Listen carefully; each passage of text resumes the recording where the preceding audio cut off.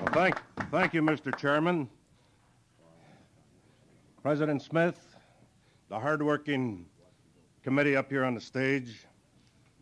And I want to start out by saying this that usually when we're called to introduce a candidate or whoever it might be, you usually get up and try to figure out what you can say about them and hope half of it is true. In the case of Scoop Jackson, and I'm not prejudiced because I'm wearing his pin and I happen to be vice president with my office in Seattle. But actually, Scoop, as he's known to all of us, has the only record that I can see of all candidates. That is, they all come and talk to us as labor people. They come and ask for our support, and we have to wonder. We have to wonder whether or not they have the ability or they would do what usually a politician promises during a campaign. I think in introducing Scoop, I want to leave this impression with you people. He has the proven record. For 35 years, he's been what we call in labor the best you can get. We've never had to worry. He's been with us all the time. And alongside of that, and with that, he is also one of the greatest Americans I've ever known. With that, I want to introduce the junior senator from the state of Washington, Scoop Jackson.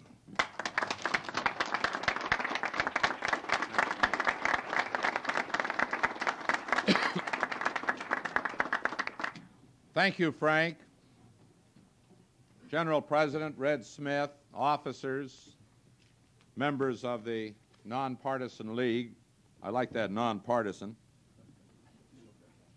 That ought to get them. Glad to see so many nonpartisan Democrats, and I'll make a nonpartisan Democratic speech. Frank, I want to thank you for your generous comments.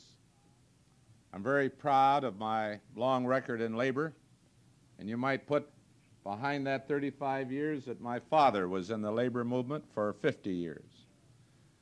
He uh, belonged when you take your life in your hands to have a union card membership. Might say, Red, that uh, he worked in the Anaconda Smelter back in the 90s when they had a 12 hour day in a company store. And for 50 years, he was an officer in the building trades in my home county. I'm the only candidate in the history of our party who's running on the Democratic ticket for the nomination who comes from a long labor background. I mean, genuine labor background. I'm very proud that I'm the only candidate who's had uh, the longest record in support of labor, and that is in support of a great majority of American people that's running. Look at the record, as Al Smith said, and you'll see it, as Frank mentioned. It's there. We come from a great labor state. I heard one uh, aspiring candidate who never heard of what, what do you mean by right to work? Never heard of it. In our state, we voted it down, didn't we, Frank? Two or three times. The people. Labor has done a terrific job, and I'm proud of my escort committee because in our state, our people, through the leadership of labor, through the years, and it had a bloody beginning, have been able to get their story to the broad majority of the electorate in a very successful way. What other states can point with that kind of pride on many occasions voting down decisively the Right to Work Committee that took charge of the White House here not long ago. Something called, uh, was it situs picketing? And Mr. Ford came out and said, Well, uh, it's true, I uh, agreed to sign the bill with the changes, and they made the changes. All the commitments were fulfilled, but I received 600,000 letters, so I had to change. My God, what was he doing for 25 years on Capitol Hill? Is he going to allow mail and mail alone to determine how he should vote and how he should sign a bill? Now, that's the problem facing this country. And I hope Labor uh, will look at the issues hard and look at the candidates hard. And I'll put my record alongside any of them. I'm very proud of my long association with the machinists. We fought battles together. We got a large membership in our state, over 40,000. We've fought the battles and we've won a lot and we've lost some. But I'm very proud of the leadership out of our organization. And I want to say to all members from all 50 states that I look forward to working with you. I want your delegates to sign up on our delegate slates. There's been a lot of misunderstanding. I think you ought to be careful, if I may say a word of caution, of being opportunistic and going along for someone who doesn't have a labor record, but going along for the sake of supporting someone against someone else, thinking you're going to stop somebody. Labor gets into that mood, they're going to have a hell of a time explaining it to their members. And those days of reckoning come. I want to work, and we are working with your group. We're very appreciative of the fine endorsement of the Machinist Council in the state of Massachusetts, where you have a large membership. And I hope that we'll get support elsewhere. I ask it only on the record. I only want it on the basis that you look your members in the eye when you're confronted later with a voting record of someone else who's 180 degrees off course. That's all I ask, is to lay it on the line and see where they stood. I was brought up the traditional labor rule that you reward your friends and you go out to defeat your enemies. And those who are not on either side, you ought to throw them all the way out of the place. I don't know how you feel. Labor should stop pussyfooting. You saw what happened with Ford. They all promised deals. But you better look at the past, and what is past is prologue. I submit to you. I was voting against Taft Hartley. I've seen labor endorse in this campaign men who voted for Taft Hartley. Think about it. You got to face the record later. You got to look at it. This has been a good, strong union, a capable union. You've never had a finer president than Red Smith. I mean that. Red has been through the battles and the wars, and they're tough. And I'm proud of our long friendship.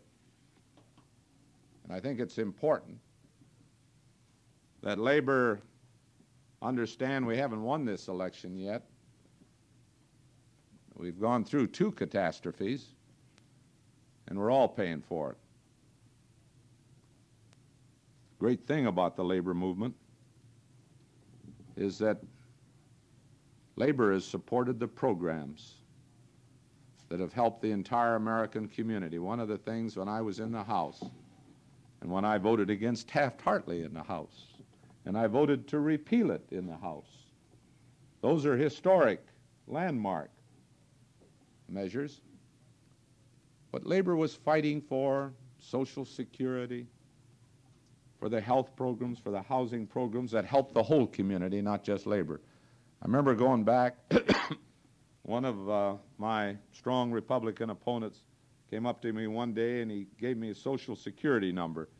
He said, Scoop, I'm getting ready for Social Security, and I'd like for you to find out how much I'll get. I said, Why? I thought you'd turn it back, Bill. You're opposed it all the way through. It's socialism. Oh, he says it's uh, things have changed a bit now, and I'm for it. And that's the way uh, the whole Republican administration they oppose the Social Security program. Jerry Ford made a great speech on Medicare. How many Americans know that Gerald Ford voted against Medicare just a short time ago? He didn't learn anything. Against Medicare, even. And we had a long, hard fight. It passed in 65. We had close fight red in 1960, almost passed it. But we had Eisenhower. He's against it, except at Walter Reed. he was. He had the best system in the world. And members of Congress have it available too. And I like it. It's great. I want it for all Americans, however.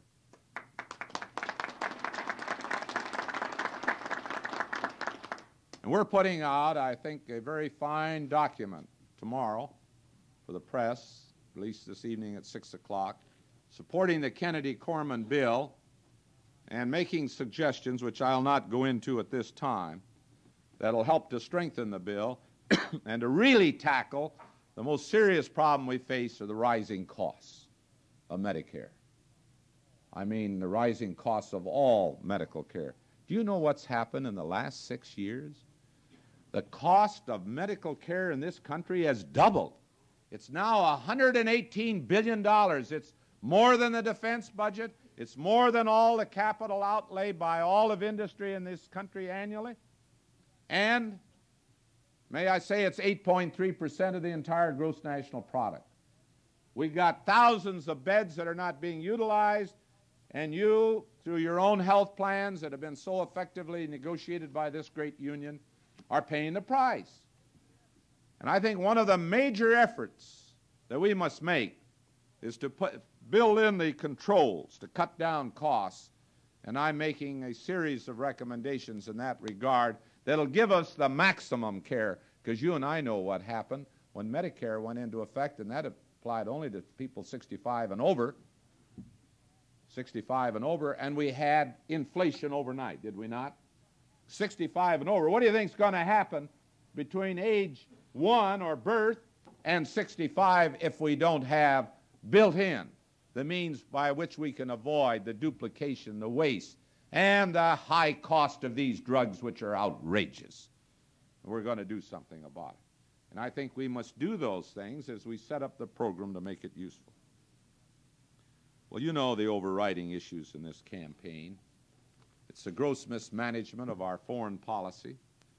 It's a gross mismanagement of our economy. My Lord, we've had seven years on a roller coaster biggest debt accumulated in history of our republic, over a fourth of the entire debt since 1789. Think of it. And they say Democrats are spenders. And that debt is a measurement of the number of people out of work. We're $600 million under Jerry Ford's current budget. But we got this huge deficit because when you have 1% out of work, you lose $16 billion in revenue. 12 of it is direct revenue and $4 billion that takes to support those out of work with supplemental unemployment benefits, welfare, food stamps. Our people want jobs and in a Jackson administration. In a Jackson administration, they're going to work. We're going to build the schools, the hospitals.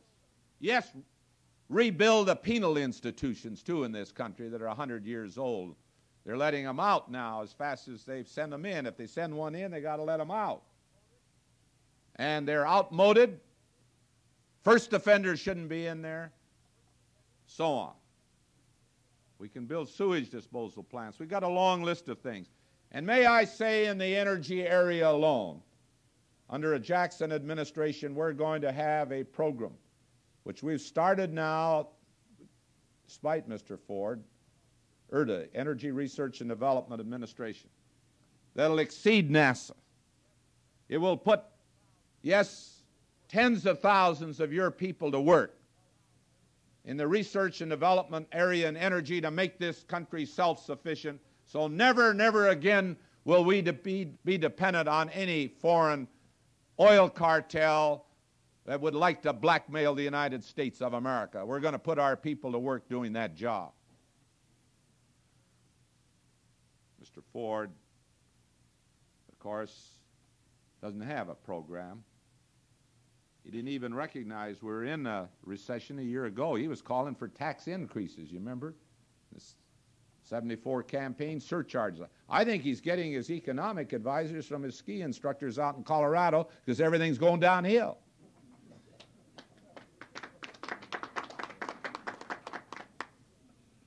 You know, Jerry Ford uh, had an instant replay of his uh, speech that he made the other night.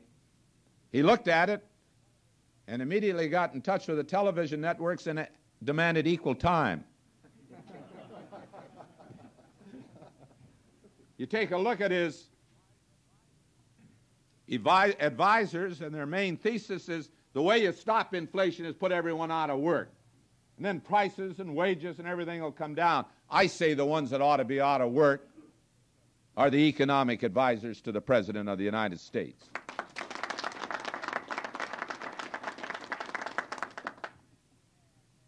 The best man he had had to leave. Secretary Dunlop, and he's a darn good man. I've worked with him. A fair man. He's had a good record with labor. They get anyone who's friendly to labor, and they double cross them and don't want to have anything to do with it. And I hope that labor is never before, and labor really operates. My dad used to tell me that when men are out of work, first thing they do, they'll rush into the union hall, and he was an officer. And they want to fire the business agent first.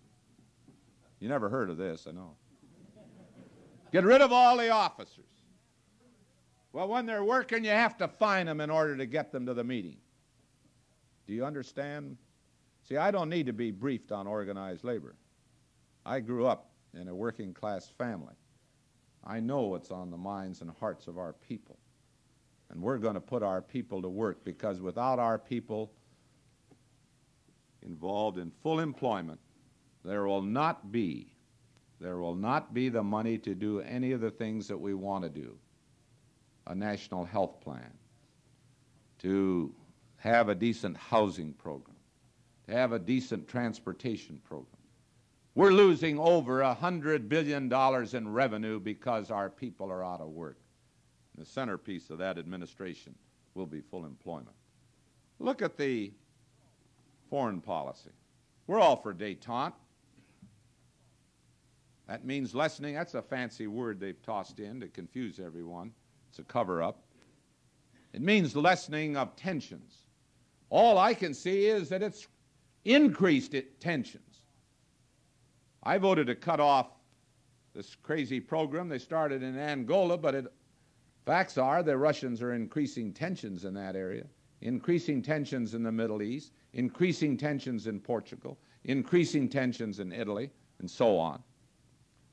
Now, my idea of detente is say to the Russians, look, you want some help, you can't support your own people, 45% of your population is involved in food production, and still you can't feed them. In our country, only 5% are involved, and we're feeding our people in over half the world. They need science, they need technology, but I'd have uh, a two way, not a one way street. When you give something, I'll expect to get something back for our people and for the people who are dedicated to peace and freedom in this world. That's essential. Senator Adlai Stevenson and I stopped a deal that Nixon and Kissinger were trying to pull. They, you know, they faded away fast. $12 billion to invest in Siberia to develop their oil and gas. It's 6% loans. Would you like to get a 6% loan? By the way, what loans do they offer us on things we might want to buy from them? They haven't anything to sell except oil and they won't sell it. And I say, and we said it at the time, let's spend that $12 billion that they're going to spend in Siberia in the United States of America and make this country independent.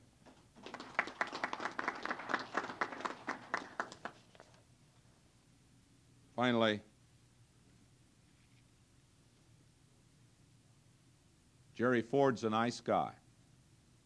Anyone could qualify for that description after Nixon. But we need more than a nice guy to be President of the United States.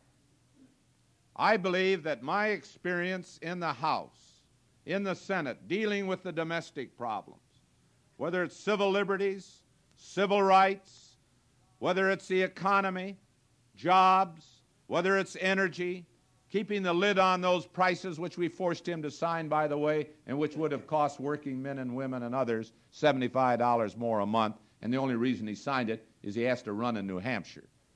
Because going up New Hampshire and they double the price of the heating bill, it'd be a little difficult. And Gerald Ford finally got that message. Just like he switched on New York. He's for aid to New York.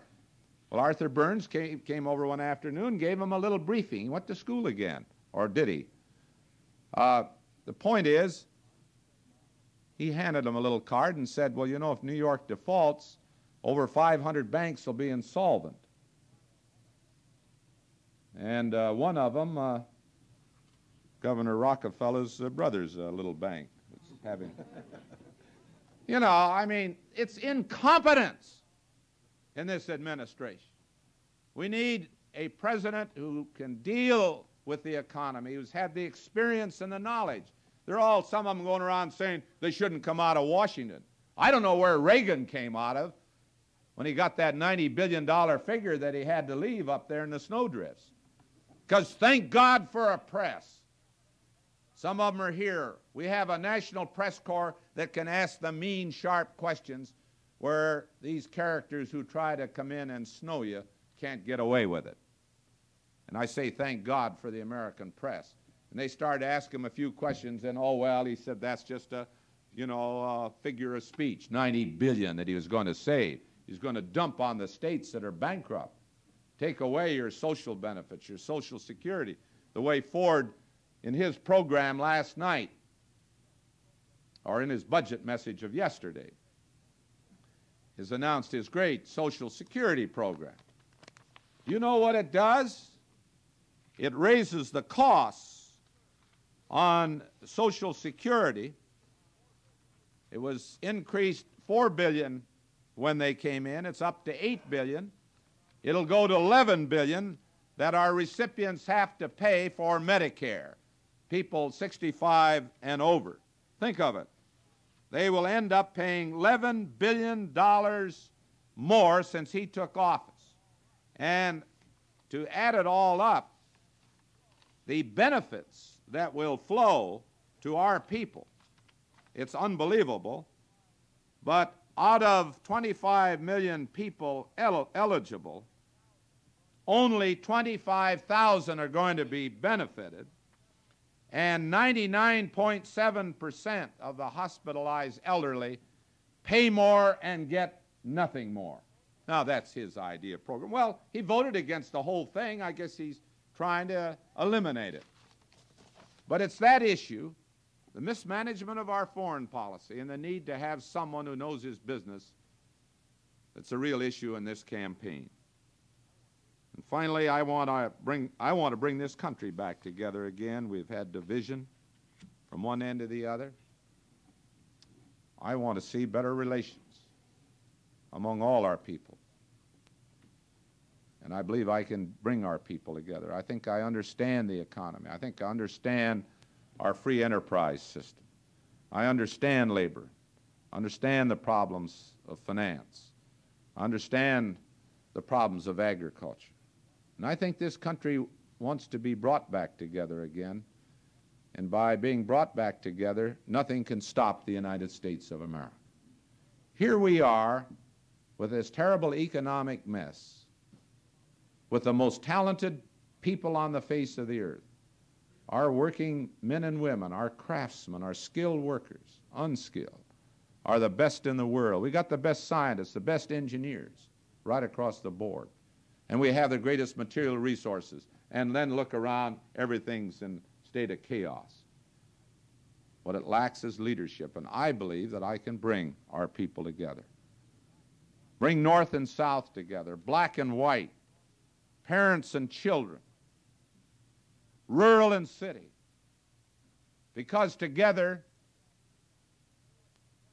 we have a great opportunity. And I see out there a very bright promise. I see a future that waits to be born, a future of hope and opportunity. And as president, I would offer a better life for our people. I will not be talking to you about a lesser America. We have too many people in that category now the poor and the deprived and the middle class working people who have been taken to the cleaners and one thing after another. I will be moving in the direction of a greater America and not a lesser America. Some may want to make America good again, and especially after Watergate. Some may want to make America great again, I should say. I want to make America good again, especially after the trauma of Watergate. Because I believe that in the last analysis, our greatness will be found in our goodness. And that's why I'm running for president.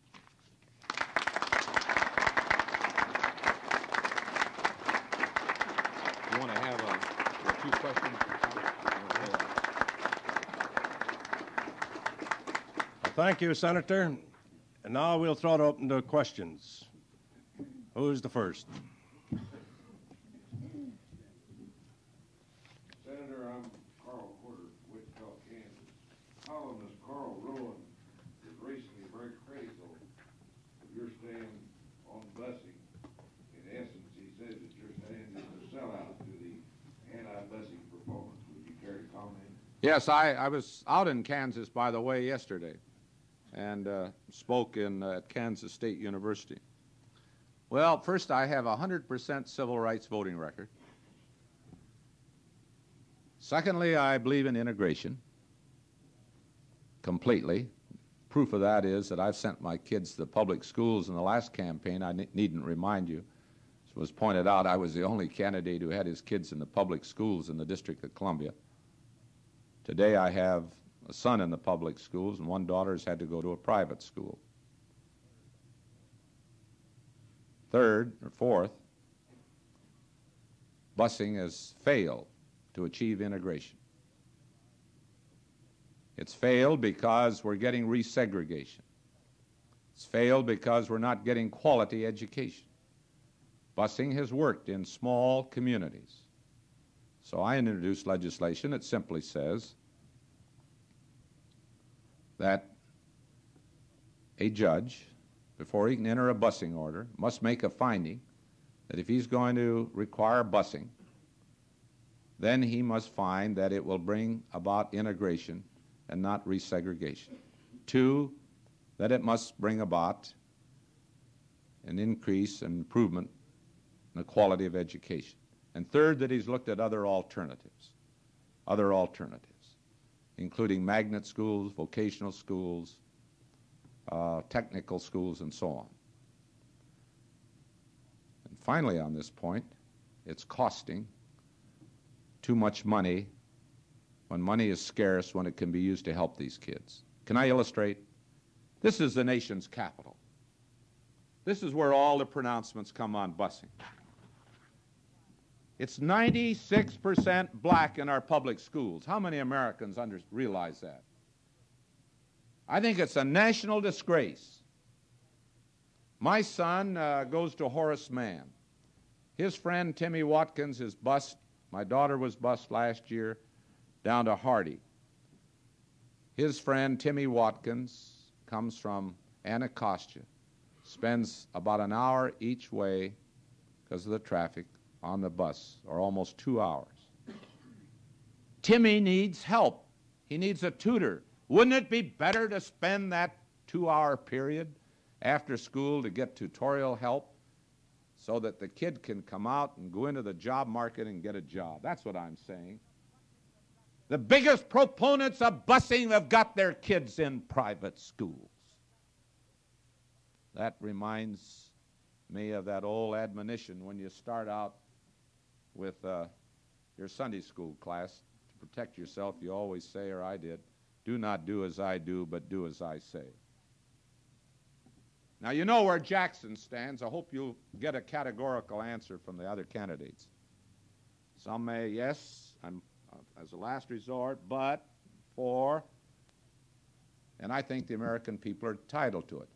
Now, I support the court orders. I've support, uh, supported every court order. I voted against amendments to try to change a court order. That would be in violation of the Constitution because the court has decreed that busing is a proper tool. All I'm asking now is, is a truthful finding by the court when they order busing, that they also take the evidence and the proof that they will increase integration. And where it's happened, you've had white flight, you had it before, but it's on an unprecedented scale. I want the black children of this country and all children to get the best possible education. Why aren't we big enough to admit that it's not working? Does that answer your question? Another question?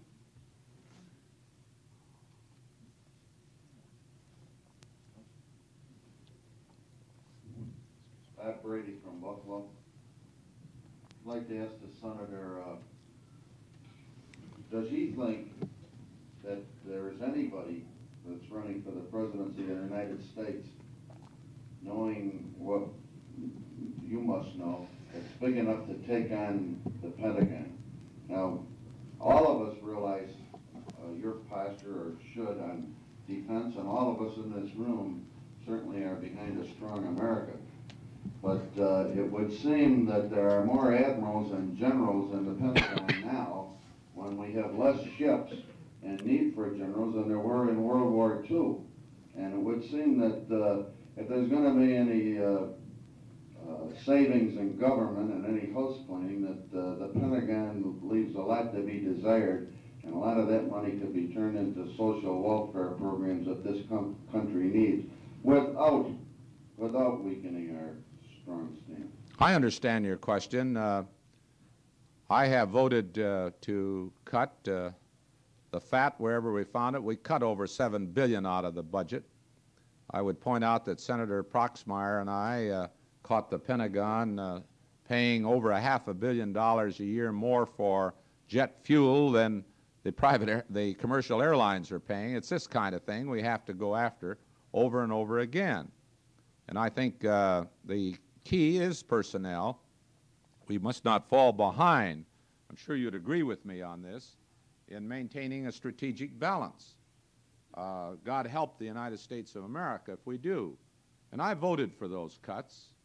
And I think there are a number of other areas where we can cut within the defense budget and still not cut the muscle. I believe that's your point. Cut the fat. And uh, the way to do it is to go in there with a scalpel and not a meat axe and continue to weed out those unnecessary functions that do not contribute materially to the defense of the country. I do want to say to you in all candor that uh, our Navy is falling behind. The strategic situation will depend on whether or not the Soviets are going to take seriously Mr. Kissinger's trip, because I wouldn't provide them any help unless they joined with us in a mutual reduction of arms. Now, if you want the big cuts in the defense budget, I can tell you that both sides have more strategic arms than they need. I would say to the Russians, no more grain robberies like Butz pulled in 1972.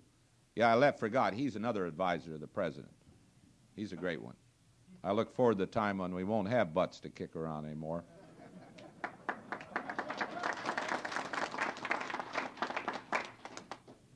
But I just want to say, in more direct response to your question, if I'm president, I'm going to say to the Russians, join with us in a mutual reduction of arms and save billions and billions on both sides, strategic arms in particular.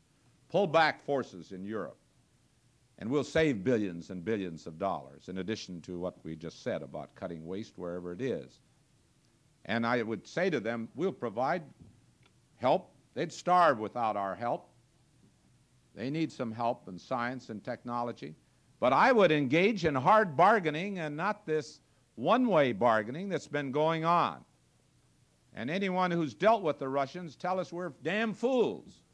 I'm glad Ford went to China. He heard it firsthand from the Chinese on how to negotiate, didn't he? With the Russians.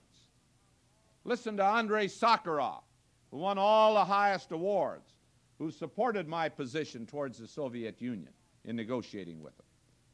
He was the father of their whole nuclear program, won the Lenin Award two or three times, and so on. Solzhenitsyn. Some of these people who know what's going on caution against any drastic downward move on our part, defense wise, unless it's a mutual reduction. And that's my position. I want a mutual reduction on the basis of parity, equality, and I want to cut the fat wherever I can find it. And I'll continue to do that. And I've uh, led some of the key investigations in that uh, effort. Ever heard of the TFX? One of the biggest wastes of money that we've ever got involved in, billions of dollars. We couldn't get anyone interested in it. And it went through. Got time for one more? One more question? We got a lot of meetings in town today. We're just kind of yo-yoing. Brother. I'll ask you, Scoop, the same question I've asked the past uh, candidates. What's your stand on federal gun, gun legislation? Opposed to federal gun registration. That's the key. Look, years ago, I was a band of a small group that voted against the McCarran Act that required all communists to register.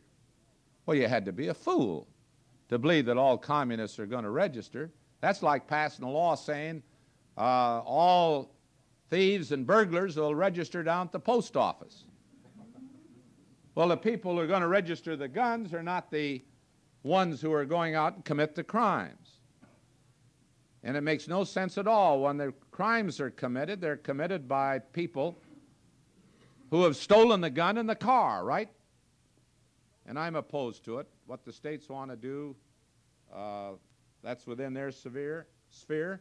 And I must say very candidly, uh, such a registration and firearms control thing at the federal level would never work.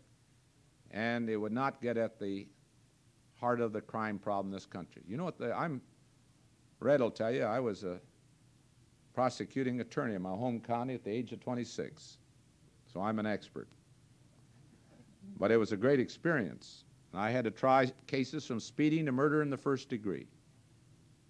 There are two problems, crime in this country. One is the first offenders. We should do everything to save them.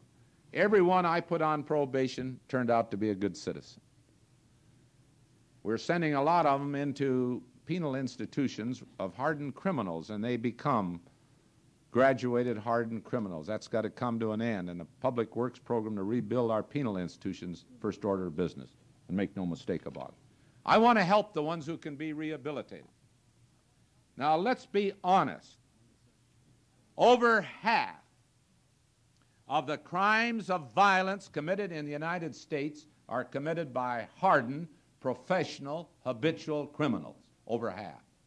People have to lock themselves in their places with double locks and everything else, while the others are roaming around unlocked. And they're the ones that ought to be locked up. And I believe the judges have simply have not done their duty. There ought to be mandatory sentences for the habitual. I'm talking about the one who's committed rape and robbery and assault over a period of many, many offenses.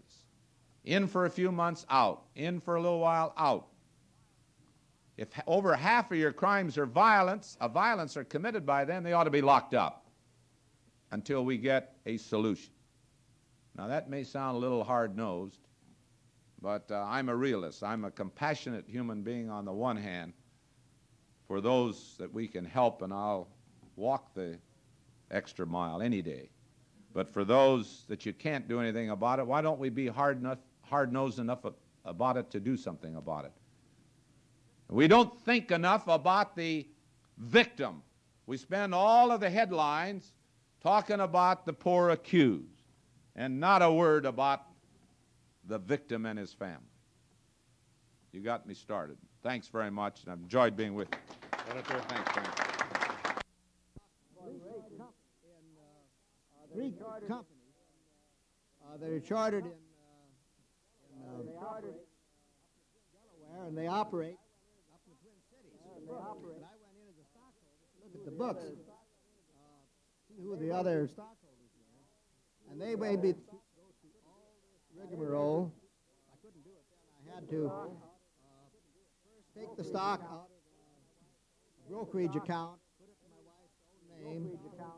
Then we had to say why we wanted to write a letter saying why we wanted to look at the stock records, hold up our hand and swear that this is the truth. You know, all, all these things, Law, Delaware Corporation uh, law. Well, I went through all that, and I, did get uh, finally in the book. But it's, it's important, I think, for people uh, to follow through as stockholders of uh, and try to uh, affect uh, some policy within.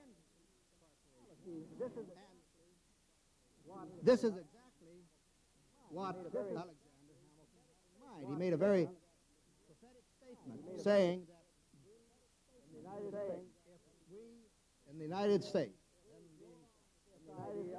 we go along with this idea of one share of stock, one vote, soon will have effective control. He was so right.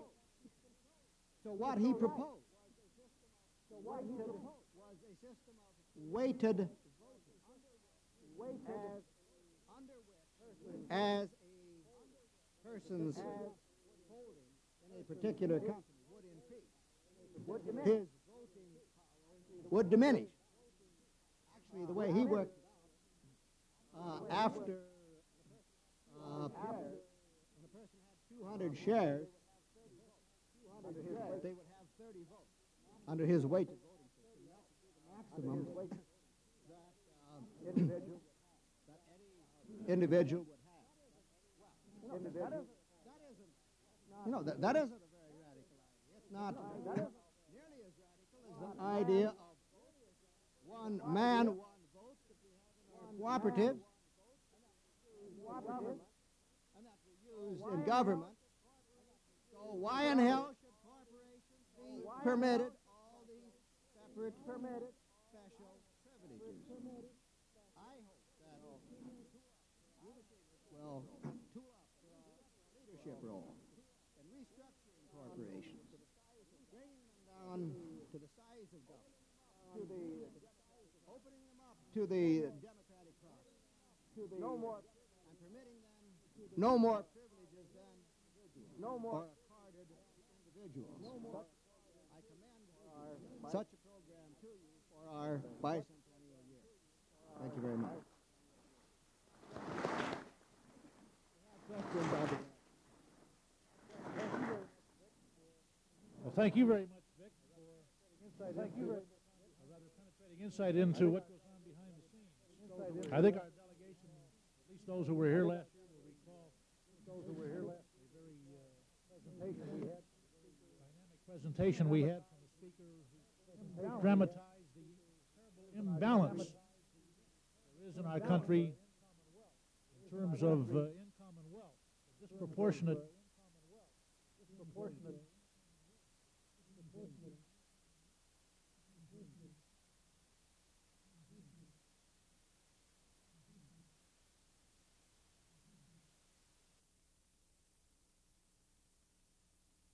think that, uh, one I think that uh, must be examined before we even decide how we can react to the program commended by our first speaker. Uh, I think it's safe to say that both these gentlemen this morning are liberals. I suspect when I say that, that immediately there are some hackles in this audience that go up because that's become uh, something of an unpopular word in recent times.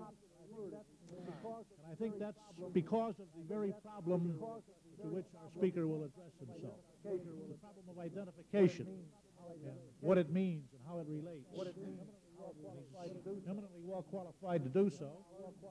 He's a scholar, an author, and he's a graduate of an institution up in Wisconsin that's always uh, had a favored place in the eyes of the IAM, the University of Wisconsin. And uh, his whole lifetime thus far been devoted to the study of working people and their problems. He currently serves on the National Committee for Full Employment, which is a uh, an endeavor sponsored by unions and other social groups to bring about some revision of law in our country which will get on with the creation of full employment. He's the editor of the Full Employment News Reporter. His work has appeared in many publications, including The New Yorker, The New York Times, The Washington Post, and The Nation.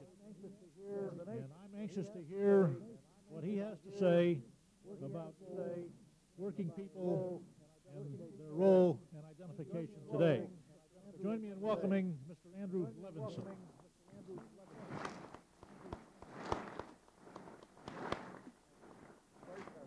you. First, I would like to, I'd like to say one thing. I don't consider myself scholar in any way. I, that's somehow I think when you say scholar, you mean someone who's up there in the in his ivory tower and isn't relating to the real problems that are going on. I think in a way, what I've tried to be is more like a something more like a private detective. There's a problem, and you got to track it down. And I think what I did, the first the book I wrote, was really just looking at where are working people today. What's the situation? And when I wrote that, it was in 1972. And I said a couple of things that I think most people really know. That most people in this country are working men. They work in jobs and factories, construction sites. They're working people. It's, it's, the, those are, as the, the conservatives will say, the backbone of the nation. It's true.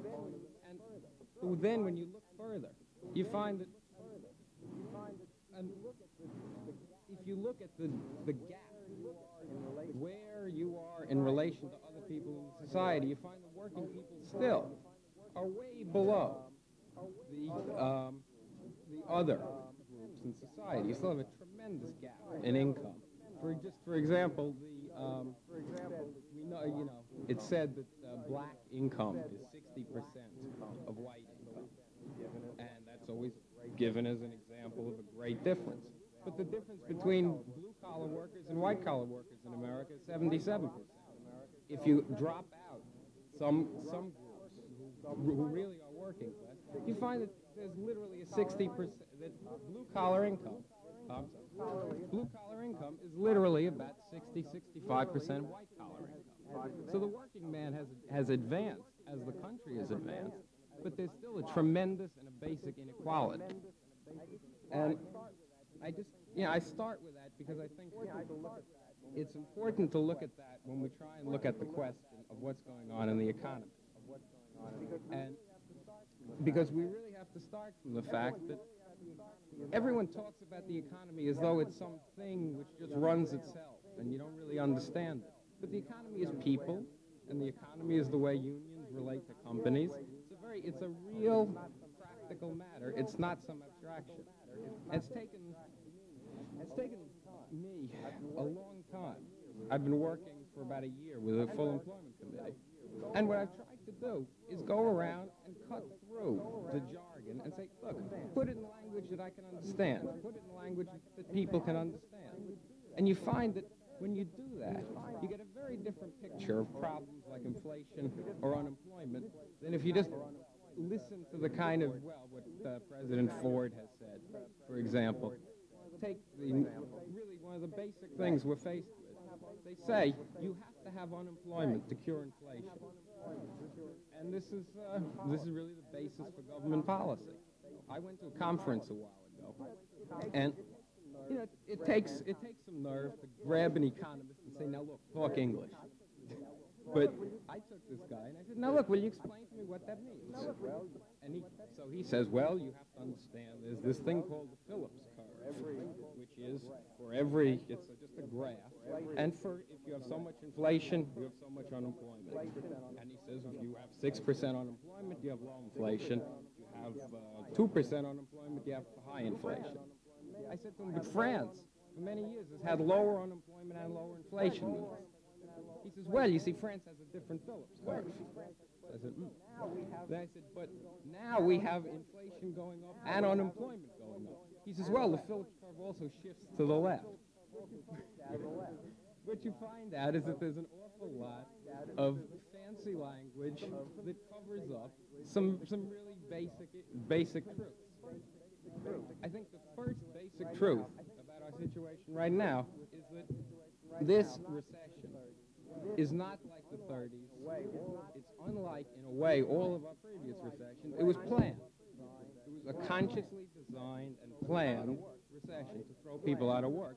And it, it's really the first time a government has ever come out publicly and said it. We're going to throw a couple of million people out of work. The reason is, they say, that that will cure inflation. Only it doesn't. We've seen it. For when we had unemployment in 1970 5%, we still had high, the inflation kept going up. An increase in unemployment didn't get rid of the inflation. We now see we have the worst unemployment since the uh, 30s, and inflation still climbs. There, when you break it down, you find they're really saying something else. And they say, we have to trade off full, full employment for inflation. They're really saying we have to do, because there's a trade union movement that won't let us use strike breakers to lower wages anymore, we have to let the government do it for private enterprise. So what you really have is a strategy which says if there's enough unemployment, if enough people are out of work, if enough resources are idle, then pretty soon wage rates are going to go down. And this is very, uh, George Meany said it several months ago. He said, this is the first time he's heard that since the 20s. But these, the economists who work with uh, Ford, the Council of Economic Advisors, say this flat out. That that is the purpose of this recession, is to lower the standard of living because that's an environment in which companies can function better. If you look over the years, I think the, the striking thing is something is happening in the economy. And we, I think we are coming in a way to a rather critical point. For many years, we were able to have a fairly steady growth in the pie, as it was called. And the story was always, you don't have to redistribute the pie, the pie grows so everyone shares. Well, that was true, and to a large extent, it was based on the uh, things like um, our relative strength in the world, number factors. But that era has ended. That period is, is ending. And I think that presents us with a real challenge. How are we going to operate in a world where you won't be able to have a pie that expands every year?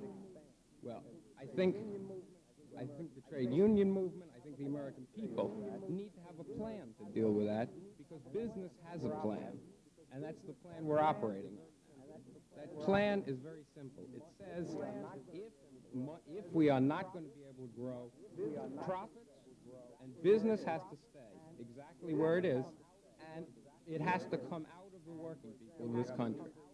For example, you have an increase in inflation due to uh, an increase in the price of oil. The argument is, okay, your standard of living has to go down in order to adjust for that, no matter what the cause of the inflation.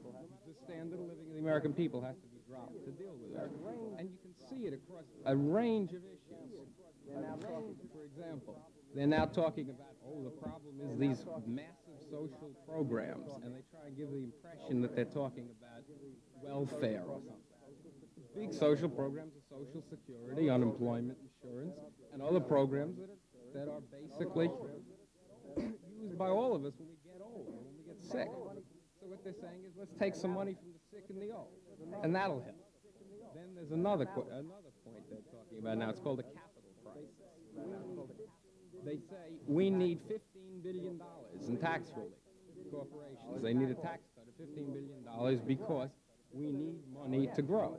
So they're really saying, again, we have to pay, the American people have to pay more taxes in order that business pays less, in order that the economy can continue to grow. across almost every issue, there's a very clear understanding, which is if we're moving into a period of slower growth, it's the American people that have to do all of the suffering. And I think the unemployment we have now is really the worst single example that you can see. Other countries just don't do that. Everyone talks about Britain. Everyone talks about Britain as the sick man, the terribly unhealthy country. They've had an unemployment rate half of ours. In that sick and unhealthy economy, they've still managed to do better than we have on unemployment. In France, they've had tremendous, very low unemployment for years. In virtually every other uh, European country, major industrial country in the world, they've done better than we have. And the reason is really a kind of political dedication that, that came after World War II when we had a, the Full Employment Act in 1946. Most of your other countries also had similar things, only they lived up to them. They said, we will not throw people out of work as a tool of economic policy. That's an unfair, cruel way to solve economic problems. And what's happened, we never made that. And we, on the other hand, never really made that decision. The Employment Act of, the uh, Employment Act of 1946 says maximum employment and purchasing power, which is a license to run wild, as long as what is maximum employment. Right now, we have ma the maximum employment that we can have, supposedly, that's consistent with uh, low prices. But what I'm saying is, across a whole range of issues, whole range of areas of our economy, there's a basic decision which has to be made, which is what kind of country do we want? What kind of, of distribution of the things we make every year do we want? We can have an unfair one, or we can have a fair one. It can be with a few, we can have a, a society with very few rich people and more and more people becoming more, uh, even uh, more poor. These are things that aren't decided automatically. The economy in 1929, you could look at it and say, gee, I don't know how it works. It's a mystery. But right now, in our economy, it's essentially planned. The government, through tax policy, other kinds of policies, essentially is planning the American economy. They're doing it, but they're planning it not in the interest of the American people. It is entirely possible through, for example, um, the right combination of policies have much lower unemployment than we have now. You want to control inflation, there are a dozen other places you can go to deal with inflation aside from throwing workers out of work. These are policy questions. These are basically political questions. And we've been given a rigmarole, in a sense, that says somehow or other we just have to sit back and if unemployment goes up, we're stuck. There's nothing we can do. That inflation is insoluble. Well, none of these things are insoluble because they all come down to a basic question. Really, the division of the pie. Who gets the bacon? And I think what we're seeing now is going to intensify in the next couple of years. It's going to be an attack on the standard of living of the American people. You can see it in New York. I was up there several months ago. Um, what is going on with the money crisis in New York is very, the bankers are very open about the fact that they want to break the unions. That's one of their objectives in this. They say, we don't want those guys having that kind of influence in city government, and we want to we want to watch them knuckle under. And they're doing it. Just to give you an example of when you say, in whose interests are people operating? Um, Arthur Burns, the head of the Federal Reserve, said he wouldn't give any money to New York, which actually at the moment pays out more to Washington than gets back. He said, no, we won't help the city of New York. Not only that, they sold these bonds just to try and get through the crisis. He said, we're not going to insure those bonds. They, they're having trouble selling says, we're not going to insure those bonds and protect the people by the bonds. What we will do is if a bank buys the bonds and the bank runs into trouble, we'll help the bank out. In other words, that's, that is a policy decision. He's saying we, the federal government, is dedicated to helping the banks of New York, not the people of New York. Now, it's not easy, and there aren't any simple answers to how do you deal with inflation. But when you get down to it, what is inflation? there's a nice, simple answer, which is it's when you have either, um, how can I put it? That it's really a question of distribution of the goods. Every year the country produces a certain amount of goods and services, and people have, and various people have get various amounts of them. Inflation is when a company raises its price, so you get less. A car costs three thousand dollars. That means you can't buy the same car you bought two years ago. It's really a question, finally, of distribution, of who gets what. And I think this was shown up back in 1946, back in 19, very dramatically, in the um, GM strike. in The uh, Reuther, at that time, said, we believe GM can give us a 30% wage increase and still make a profit and um, not raise their prices. And that's what he took to the bargaining table. At that time, there was still price controls le- over from World War II. Proposed that, and the company said no. He said, okay, open the books. Let's have it out. If you're going to call us inflation, if you're going to say that our wages are inflationary, prove it. Open the books. Of course they didn't. No company ever has. And six months after the strike was settled, GM got permission from the government to raise its prices. Well, right there, you're looking very dramatically at one of the key sources of inflation in the country, which is without competition, every time you get a wage increase, the company can raise its prices, and you get on a treadmill. It's, if you look over the past, the whole post-war period, labor has really been fighting, in a sense, a battle just to keep, keep ahead of the inflation. Every time you get a wage increase, the prices go up. It's been absolutely consistent.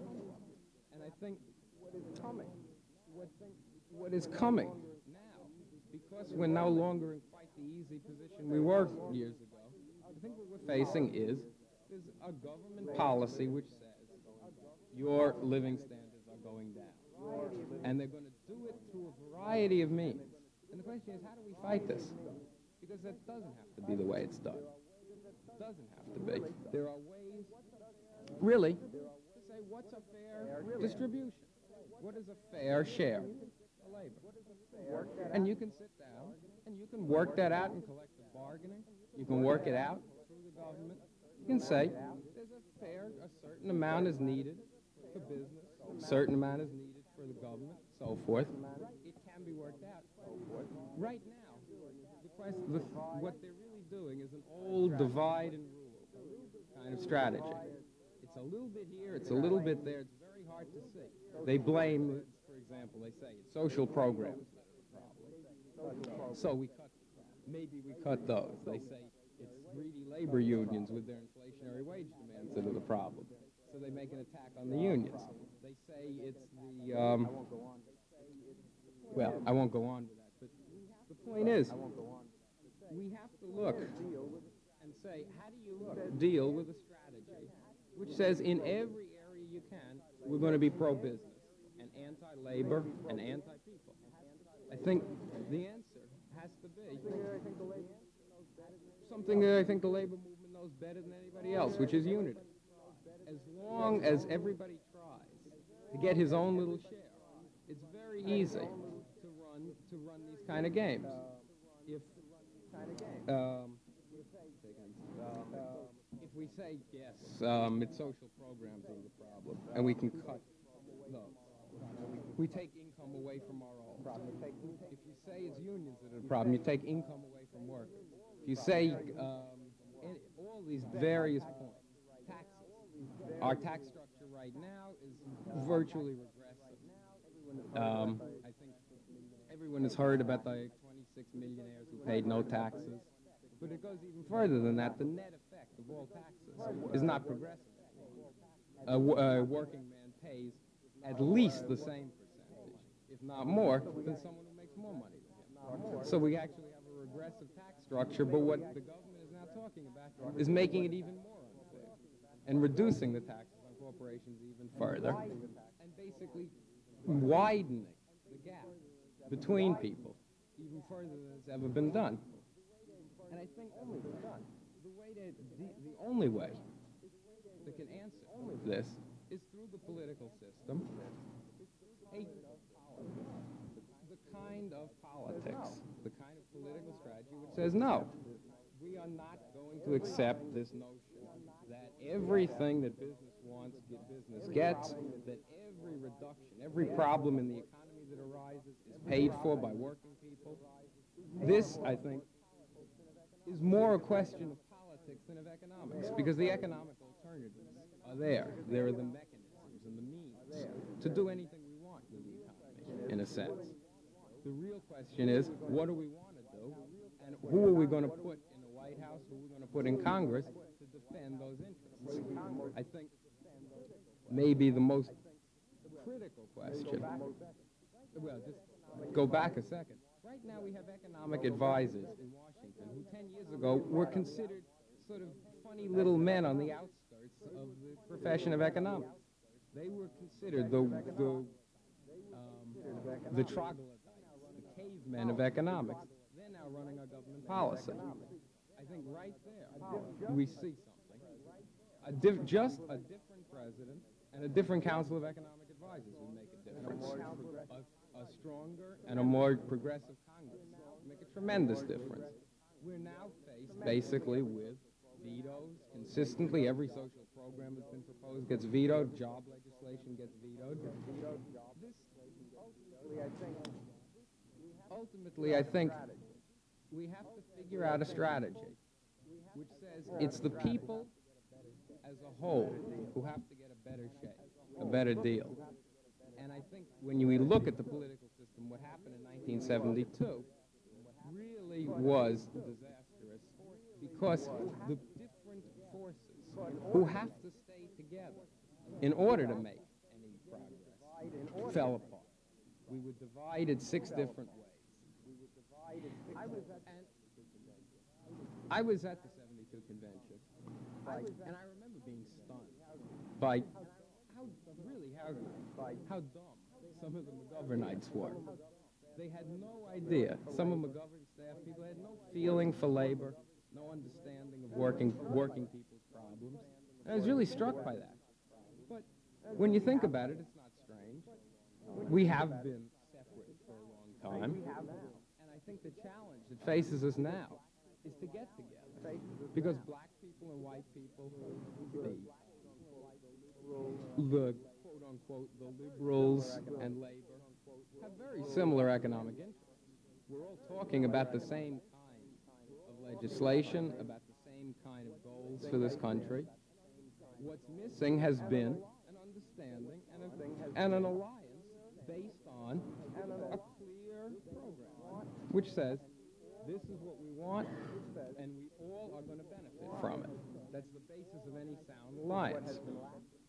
And I think this is what has been lacking, and I think this is what has to be overcome at this time. We have to start looking at a political coalition, which is a majority of the American people who have interests in common.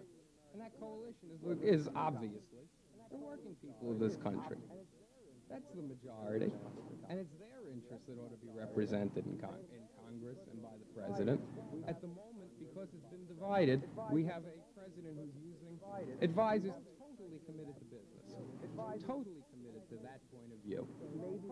And I think maybe the most important thing that's going to be happening in the next couple of years is going to be the struggle to put our politics back on, a, on the right kind of basis, the basis which says the political system is supposed to represent the majority of the American people. Let's get a candidate who's got the program that talks to the needs of the American people. It says people come first. I guess first. I guess. I don't know. It's. Um, it'd be hard to really say. I, you know, we're all in the same position in a sense. We're at the racetrack, but we haven't got a.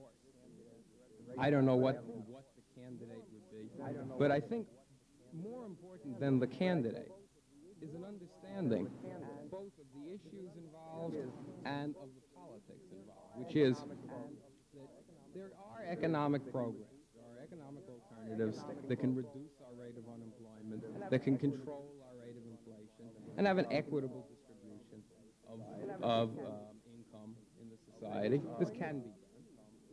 And I think the point is, what we need is not a new theory of economics and new ideas.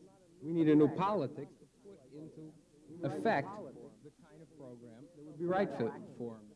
I think the AFL-CIO action program, which they put out several months ago, was an excellent document. That alone would have done a tremendous amount to get us out of the, the position we're in at the moment.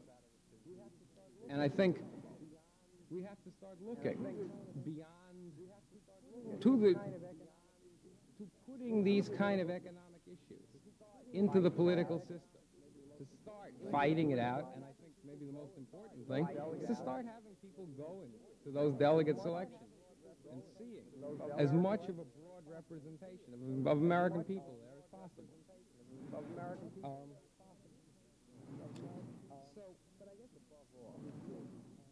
but I guess above all, main point I think is something, as I say, that, the labor movement understands well, which is unity. If we allow ourselves to be divided, if we allow them to say, well, we're going to nibble away at this social program, we're going to veto that bill, we're going to um, cut income in this area, we will, and everybody tries to go it alone, we will never have the kind of politics or the kind of econ economic situation we want in this country. I think the basic point is to recognize the common interests that we all have and to start getting candidates and start getting a political process that reflects those interests. Thank you.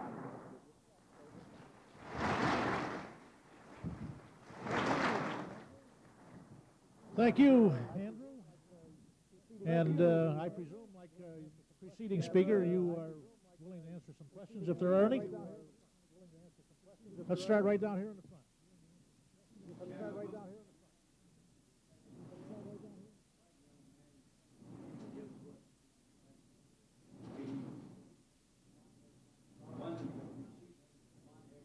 I can't remember any economists pointed out all the problems today. Identifying things that we're up against. We are unified to a degree. My estimation, reasonably sound as a union. But the answer, gave the answer today, this young fellow. And the answer was unity, but to what degree? And I think the degree, I, I, and I, thinking about the other young man's speech, I believe you mentioned at the time he was one of the most profound speakers that you have ever sat down and listened to. And uh, I believe the thrust of this meeting here is the answer to your previously stated we should not only get together nationally, but globally, so that we can influence the Congress and the Senate through our strength. Right now, five to ten percent of the people who have the wealth of the country are doing all the influence. And I believe that we had more people like the speaker that just left the rock, we have the answer. Common sense and logic. I'm going to ask uh, Andy to comment briefly on that and uh, to comment in terms of uh, why so many of us think we're middle class when in fact we're starving to death. First, I'd like to say, in regard to what you said, I think you can see the practical application of this question of unity in the committee I'm working for, the National Committee for Full Employment, and you can see the Committee for Full Employment was formed last year. It has Murray Finley, the head of the Amalgamated Clothing Workers, and Mrs. Martin Luther King as co-chairman. And the biggest difficulty we face is you have to find an answer, not that just works for a small group, not that works for one sec section of the labor movement, or even just for the labor unions, because there are an awful lot of unorganized workers out there. And I think we all know that during the wage the unorganized took it on the chin even more than the unions did, even though the unions didn't got uh, a raw deal. The question is, you have to look at all these competing, what seem to be competing interests. Blacks need jobs. Many, you know, the tremendous, youth unemployment rate for blacks is 40 to 50 percent in cities. At the same time, labor, in many cases, the real real income of production today is down to the level of 1964. I just read in the Wall Street Journal a couple of days ago the net asset, the value of people's houses and the things they own, is back to the 50s level. So they, you have tremendous competing interests, and the biggest danger is to come up with an economic program that doesn't that doesn't find the answers for everybody. I'll just give you an example. One obvious solution to the problem of unemployment is take, get rid of unemployment ben- uh, compensation. A lot of people go back to work at a dollar sixty an hour if they didn't have unemployment compensation. That's one of the answers that the that businessmen have come up with. Keep the benefits low, make it hard to get those things. I, uh, a number of my friends are unemployed, and I'm sure you all know what a, what an incredible bureaucratic mess it is to try and get unemployment compensation. It can take a month. It can take two months in Atlanta. Take a month. Two months. These kind of issues, these kind of strategies can divide us very easily. It's possible to say, um, to, it's possible to come up with a number of, of proposals to solve unemployment that really just redistribute it and don't solve it. Share the work, take less hours. You everybody takes less hours. I think that's a beautiful thing when people do it voluntarily to share a problem. But it's being proposed by a lot of economists as, gee, that's great. We'll make the we'll make the employed workers pay for the, the problem of unemployment. We'll shift the burden of unemployment onto the employed workers. It's this kind it's this kind of divisive strategies that are constantly going to be thrown up, and I can't even begin to talk about all the different economic proposals which basically shift the problem from one group to another. Make the employed workers pay for the problem of unemployment. Make the unemployed workers take, you know, solve the problem of inflation. Playing off various groups against each other. In the National Committee for Full Employment, what we've tried to do is define the kind of program that gives, that makes it in everybody's interests to be for that program and to work for it, to vote for the kind of candidates who'll support it. Although we, we haven't yet written, it has task force we have working on it hasn't yet. In principle, it can be done. You can come up with a number of things. The allocation of credit, for example. If we have a shortage of capital, okay, we use it as efficiently as we can. You don't have it, you don't send it overseas while we've got people unemployed. You don't use it for the kind of projects that don't create jobs. Things like that. Credit control. Another one, reform of the tax structure. You can create a million jobs for $8 billion. We could get enough money to employ three to five million people, uh, yeah, million people, just by enforcing the tax structure that we're supposed to have. We don't have to have we don't have to change that tax structure. If we just close the loophole, we could have enough money for three to five million jobs right there. We could have enough money. Again, um, credit allocation, tax reform, planning. The, as I said, the economy is already being do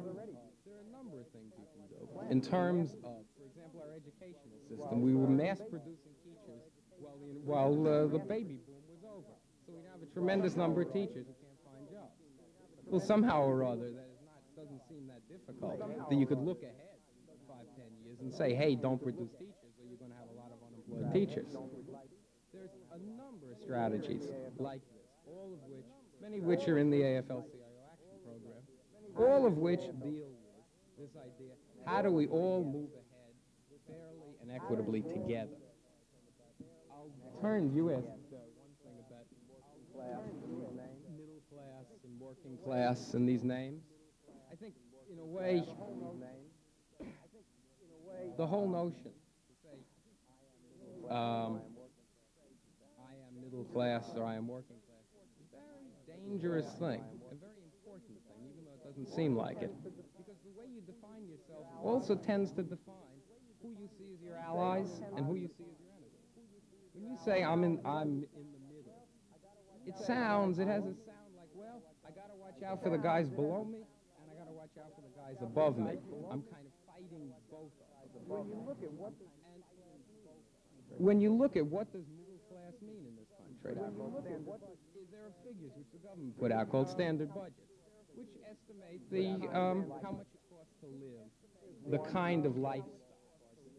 There's one which is called the lower budget, and it's pretty much what you need to live, what most poor people have in America. There's an intermediate budget, which is very clear. You look at the kind of goods you can own. It's the kind of budget a working man lives on. And it's about the average work. It, for 1970, the average worker was making about 9,500. I think that was after. I forget whether that was before or after tax. But and the budget called for 10,003 or 400. So in other words, the average working man was a little bit below In other words, that average that budget, which just said what a working class life is like. The middle class budget, the upper budget, in 1970 was $15,000. I'm not sure what it is now. I think it's about 19 or 20,000. So what do we mean when we say working class and middle class? If you're talking about lifestyle, we know perfectly well working in the shop is not living like a doctor or a lawyer or a stockbroker. But these are different groups of people. They are very different economically. And but I think the most important thing is not the words. But I think it's what they signify. Because if you say I'm a working man, what you're saying is I've got the same interests as every other working man. I've got the same basic things. I want a job. I want decent income. I want a chance to get ahead. And I got nothing against any other working man. And I think that's the important thing when you say, who are your friends, who are you? It's really saying, who are your friends and who are your enemies? And I think the question really is, we, or the labor movement has always talked of unity, and we've always said that we're all brothers in the trade union movement. But I think what has to be done now is to recognize that all the American people, all the working people of America, the employed and unemployed, black and white, young and old, and so forth, really have the same interests. And I think that's the importance of talking about being a working man in America. I'd love to drive that thumbtack with a sledgehammer, but I'll uh, refrain for a few moments to get a couple more questions. Let's get uh, Freddie first, and then you, Stan.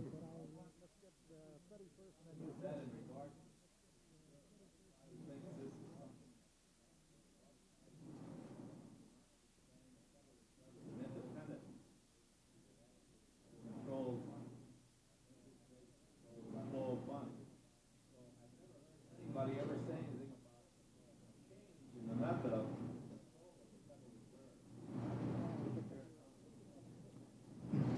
That's up your alley, Victor. Uh, two things that are uh, going on right primarily. Nobody even audits. the Federal Reserve. And farther along, finally, and farther along this year than ever before is Wright Patman's and Proxmire's legislation to uh, provide for a GAO audit. Uh, Patman didn't get a rule, uh, so this bill, it's not at all sure uh, we will have that. We may have hearings on it in our committee too next, uh, uh, next month. One of the things you need is a public audit. The, the people who are the real governing boards of different regions are, uh, and these are the people who really help decide financial policy, are, uh, by law, uh, one major category are the bankers themselves. Uh, When we were putting the federal, third point. When we are putting the Federal Advisory Committee Act through, when we were putting the federal, uh, to get, and there, see, the Fed has these advisory committees. We had to accept, in order to get the, uh, the law through, exemptions from the act, its open meeting provisions and that. The two agencies, the CIA, the Federal Reserve System. CIA, way that, you know, Burns brought up, the way that to a leading member of Congress brought up, uh, this letter saying we can't be, uh, we can't open up like that, and it was uh, accepted as a condition of getting it on. The other, Proxmire, Senator Proxmire, who's chairman of the Banking Committee, has proposed, it went in about about a week ago the reorganization of bank regulation. Now have three different bank regulatory agencies, the Fed, controller of the currency, of deposit insurance system. He would propose, they'll be getting into hearings, onto a one single bank regulatory structure, and that, of course, would, if it becomes law, take away some of the independent features of the Fed. Independent features of the Fed.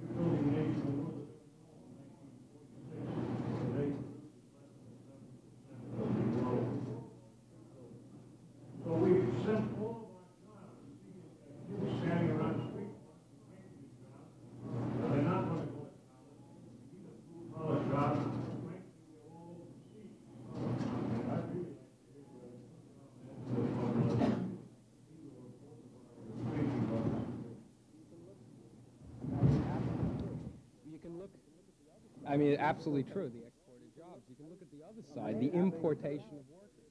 I was amazed, they, they now estimate there are 7 million illegal aliens in the United States. Now, you can't convince me that those were all guys who, were, who smuggled themselves in as a, without some sort of involvement and very strong involvement in business.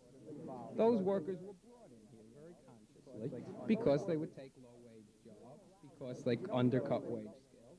You don't allow seven, you don't suddenly wake up one morning and discover there's seven million people in the country who you didn't want in the country. This was again the export of jobs, letting low-wage workers come in are all part of the same pattern. I think the thing, all these various kinds of, um, and no, yeah, just incidentally another one. We had one of the craziest transitions of any of our agriculture, our people who were on the land and came into the cities in the, in the 40s and 50s. The mechanization of agriculture for millions of blacks. It's one of the biggest migrations in history. The migration of blacks who were living on the land to the cities. You had the mines, the mechanization of mines, which threw hundreds of thousands of miners into the cities all of a sudden. That's one of the reasons, uh, just again, a comparison with Europe. That's one of the reasons why they don't have the same kind of problems. They have plans. If there are going to be jobs, for example, in certain areas in France, they can project. They say there are mines that are going to run out of coal in five years. They tell, I was just reading, they told uh, Renault, you're going to be building a new plant. Put it there, because there are going to be some guys out of work five years. This is part, this is part of the government, uh, it's called indicative plan. It's a voluntary thing where, the, where they just sit down and work out obvious points like that. Something's going to respond to it, let's get ready. I think the thing, though, that ties all this together is a very, there's one basic fact, and that is, they, if you can make more money someplace else, business will go someplace else. You, I mean, it's, it's silly to say it here. All of you are here trying to deal with the way plants move their jobs around to get lower wages. It really comes down to how much control, how much, do you, how much, how can you put it? How much do you let them get away with, in a sense? What are the limits of social responsibility? Do we just say anything that's, that makes a profit is fine, even if it throws workers out of work? Or do we say, no, in a, in a civilized country, there are limits to what you can do. You can't go run overseas. You can't bring in low-wage workers. You can't throw people off the farms in this unplanned, chaotic way and not make provision for them to get other jobs. I think one of the big problems we have now with unemployment is precisely what uh, the fellow back there said. We have a tremendous number of people who need the kind of jobs that got the Irish into American society, that got the Italians into American society, and those are precisely the kind of entry jobs, the jobs that get you started, that have been cut, undercut by the export of jobs and the, really in changes in technology, where it's for us to go right across the border. 20 feet across the border, you got, I think, 300 plants that used to be in the United States. It's uh, very good from a business standpoint, but from a human standpoint, it's terrible. And I think what has to be considered is all of these factors really come down to the same basic question of do we say, do we make the kind of commitment that other nations made after World War II? They just said, and it was because their people made them say, the government at that time said, you know, we just will not permit high unemployment. If we have to make other adjustments, if profits have to be a little bit lower, if certain things don't get done, okay. It's a civilized country doesn't have 8% of its people out of work. America never made that commitment. And I think the first step that cuts across all the specific economic issues is very simply to make the government pass a bill that says country like the United States is as backward as the 12-hour day. It's as ridiculous as child labor. We don't have to have it, and what we need is the political will and the political force to say, okay, now we're not going to have it. If other countries can make that commitment, so can we. If other countries We arrive I don't know. We uh, we arrive close to the lunch hour, and I feel constrained to exercise the prerogative of the chair and make a couple of additional comments on this line of inquiry. So let's uh, skip any more questions. And uh, let me simply say this. Our problem is one, as has been said, of first being unified, and secondly, seeking out and making books with all allies wherever and whenever we find them. Now that sounds like a ridiculously easy order, but it isn't. Because we have, by some of the conduct of our movement, some of the programs that we pursued, and because of some popular misconceptions that prevail, estranged ourselves and alienated ourselves from a lot of people who could be and were willing to be our allies if they were properly approached and understood us. So, A, we have to create a better understanding, and that can only come from the top. I say to you that uh, we have a malady around known as being too old to do certain things that prevail in the, in the top echelons of this movement today. As long as Mr. Labor of the United States of America is content to get on national TV and say the American labor movement all of those who are willing to join it. We are 13 million strong, and that's big enough to do the job. And anybody that doesn't want to join us doesn't have to. And creates that kind of a negative climate within which to expand our ranks first internally does us a grave disservice. So we've got to try to step around that program until we can solve it by changing that intellect. Now we got to try to find some way to sidestep that and do the job within our house with everybody that thinks the way we do, believe it or not. That's most of them except him. Secondly, I think we have to understand what the hell we're talking about when we talk about being uh, workers, average Mr. and Miss America, uh, middle class, call it what you want. We, we did something a few years ago at a convention of our union, which did me uh, grief inside at that time, and I've been grieving it ever since. It suddenly became very unpopular to refer to things such as the class struggle in this society of ours because that had the automatic connotation of being an advocate of some ism that was unpopular or unworthy.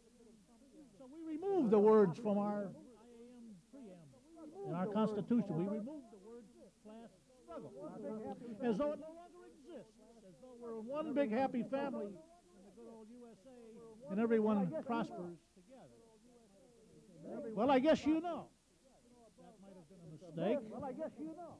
I guess you know above that that it's a myth that that class struggle, just on what you heard today alone, is as real and alive and as vital today as it's ever been in the history of this country.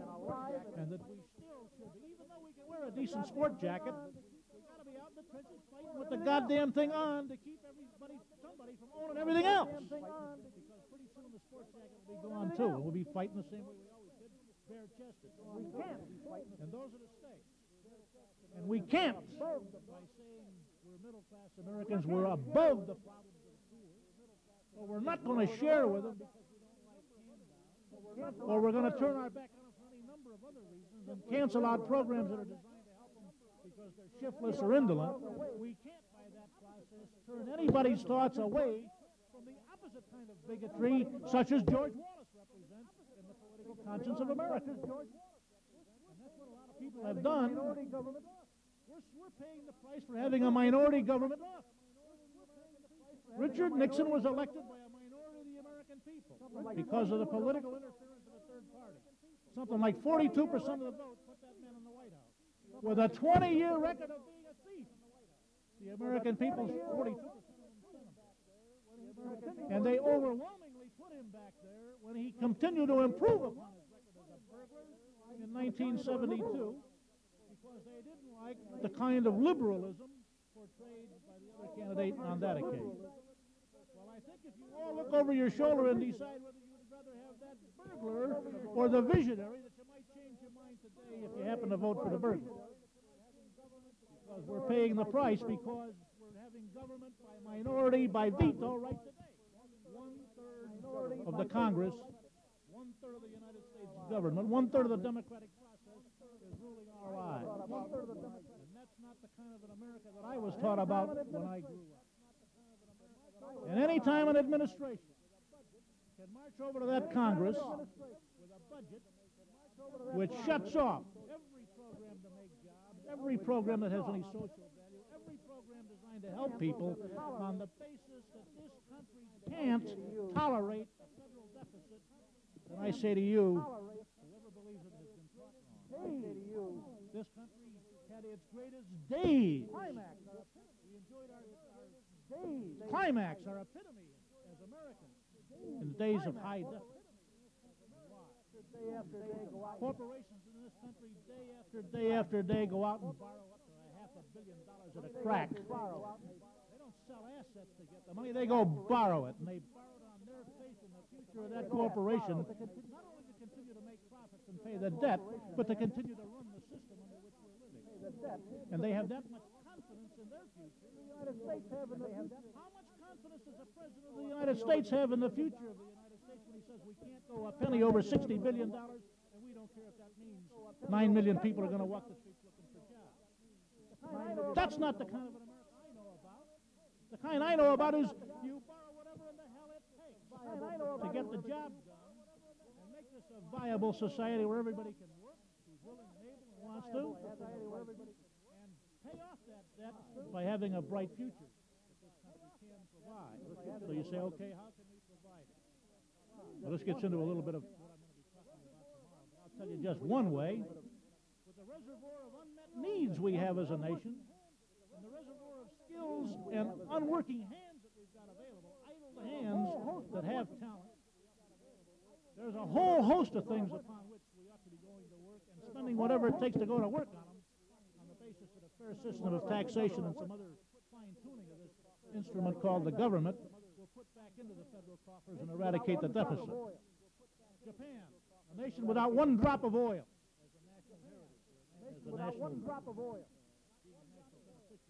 not one drop of oil. Gets 40% of its hot water heat. It's, it's heated hot water from rooftop solar heaters. What do you hear in this country?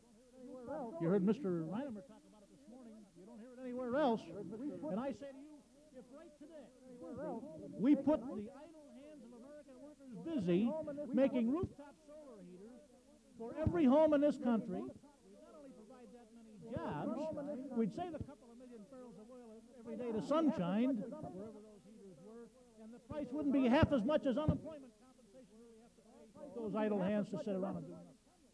And it would also lessen our oil companies that already own us. And that's why it doesn't get done. There's a massive noose around our necks, and I suggest to you we've got the knives. If we all get together and throw it in the melting pot, we'll, we can create one big enough to cut that noose. But it requires disciplining ourselves a little bit, developing a little bit of confidence in the institution called our union, our Consumers Federation, and a few other entities that are around to challenge these corporations for control this country. And the only ones that can go out there and create that kind of renewed confidence in these institutions is us. Nobody else is going to do it. And as long as we have people sit around talking about their union and everything else, and all of the little private problems that go on every day, and no dedication whatsoever to a total program, a total declaration of war against this news. So I commend that in thanking our guests for their input into that kind of a scenario. I commend what they've told you as a program. I commend to you some, some serious thought about where we're at and how we got there and the kind of renewed dedication and cooperation it's going to require from all of us to get out of it. And I'll have more to say on it before this conference is over. So if you want to say that's a warm-up, that's what it was.